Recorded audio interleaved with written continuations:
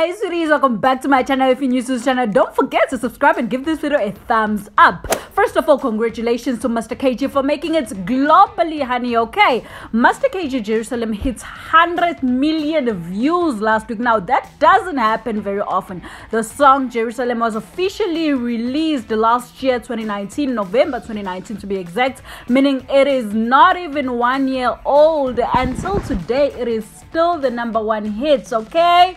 Now, just yesterday, the 3rd of September 2020, Master KG's Jerusalem got a huge shout out from the likes of Janet Jackson, Messi, Cristiano Ronaldo, and so many more. Now, for all of you guys who do not know Jerusalem, it is a global hit produced by Limpopoan musician Master KG, whose original name is Kgaogelo, and he's only 24 years old. Right now, they have more than 110 million views, while others are complaining about the lockdown. It seems like it is more than just a blessing to Master KG as he is getting more recognition globally. The award winning star Janet Jackson shared a video on a young girl dancing to the song Jerusalem and captioned it, Get it, sis, hashtag black girl magic and tagged Master KG. Master KG then responded to the tweets and said, Thank you so much. We love you here in South Africa with love emojis. Now, that is, of course, true. We do love Janet Jackson here in South Africa. Also, Ronaldo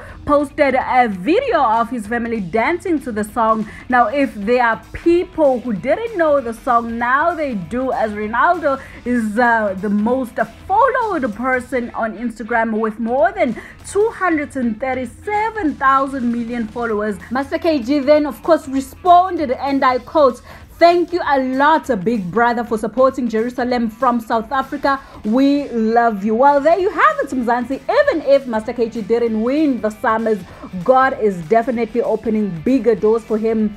Congratulations. Anyway, thank you so much for watching. Have yourself a blissful day. Don't forget to subscribe and give this video a thumbs up. I will see you next time.